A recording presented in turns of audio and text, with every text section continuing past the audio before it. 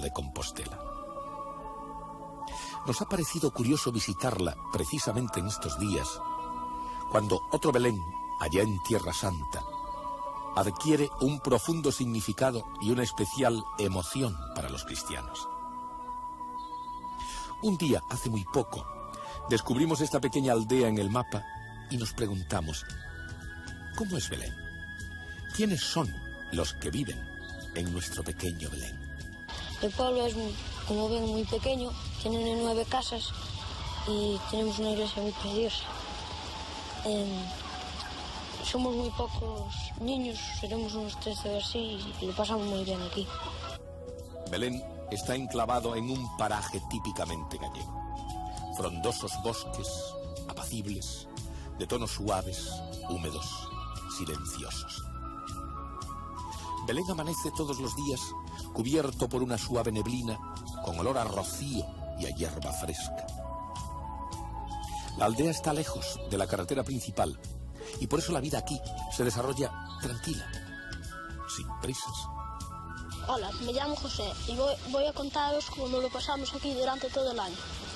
Aquí por el invierno está todo como abandonado y, por el verano viene mucha gente para pasar aquí las vacaciones y nos vamos al campo jugar por aquí y pasamos así muy bien. Aquí en Belén eh, vivimos casi todos de la agricultura y de la ganadería pero más bien de la agricultura porque porque la ganadería no, no hay muchas vacas por aquí. Viven pocos chicos en Belén. Hay muy pocas casas en la aldea y muy pocas familias.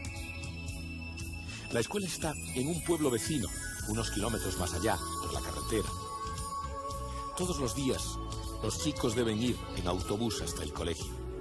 Los viajes, uno por la mañana y otro por la tarde, de regreso.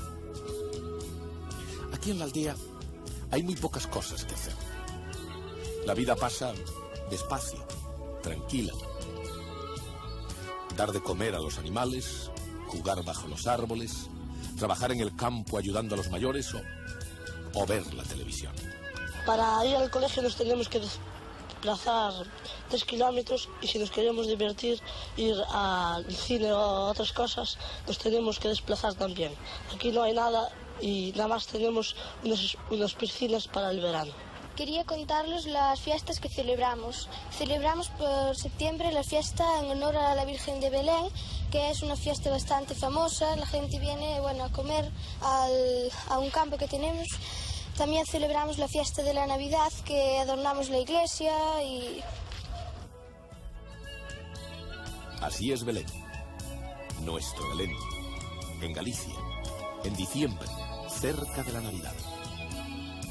Y así son sus chicos, así viven sus gentes, sus paisajes. A Belén, a Belén, van los grandes y chicos. A Belén, a Belén a cantar villancicos.